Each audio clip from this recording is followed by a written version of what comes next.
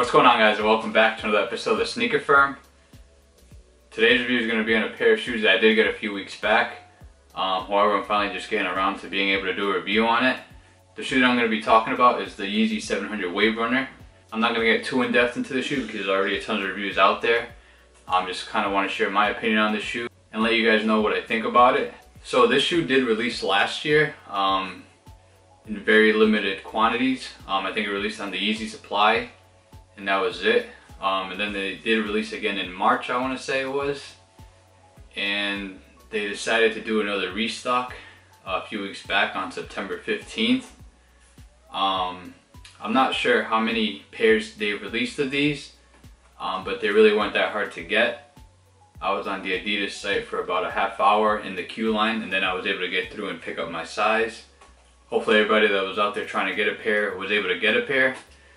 Um, so it is a really nice shoe, but I think for the price tag of 300, um, I, I would expect a lot more honestly.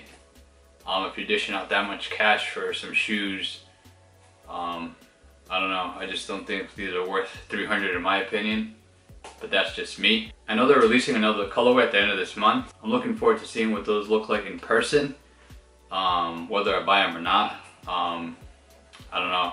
We'll see when the shoe releases. So here's a quick look at the box.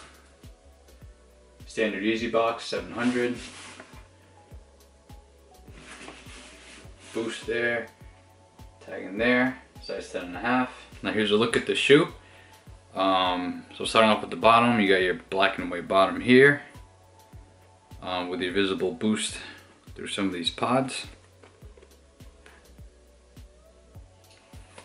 Move on to the midsole. You got this like cream colored off-white midsole.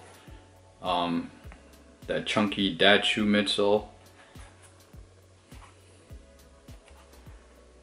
These are really comfortable by the way. Um, definitely some good cushioning, boost obviously.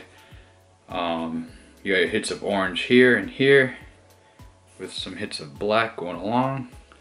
You got some hits of black here. Moving on to the upper, you got your hits of like nubuck on here in black, going all around. And you got this like gray nubuck here on the heel. Um, and these little dots here inside is actually 3M. So when the light hits it, you'll see the flash. Then you got the slate blue mesh here.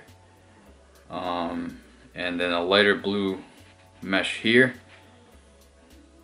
like a dark teal. And then you got this nice nubuck here on the front toe box in gray.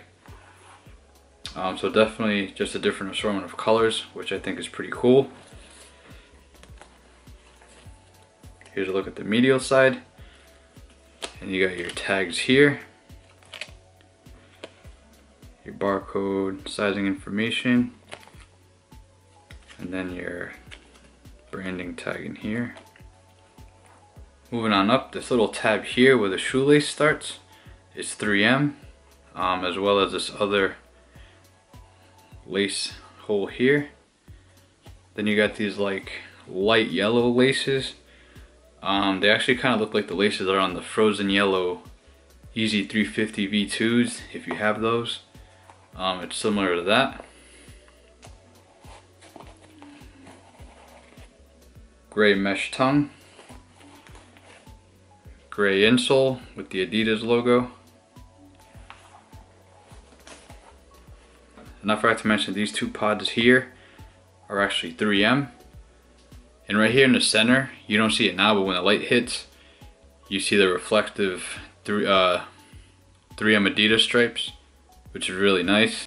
So that's kind of it for this shoe, guys. Um, I just want to give you guys a quick review on it. Um, I personally think it's a nice shoe. Definitely not worth the $300 price tag in my opinion.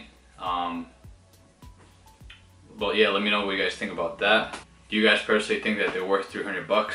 One more thing I forgot to mention is that this little tab here is like a nice soft leather, real premium leather. Really. So yeah, that's all I really have for this shoe, guys. Um, let me know what you guys think about this shoe. I personally think it's really nice but I don't think it's worth the $300 price tag. Um, let me know what you guys think about that. Is it worth the $300 or not? Um, I will be doing more reviews. I just got a few more pairs in, so I'll be doing some videos on those soon. Um, yeah, other than that guys, please like, comment, subscribe, and I'll see you guys later.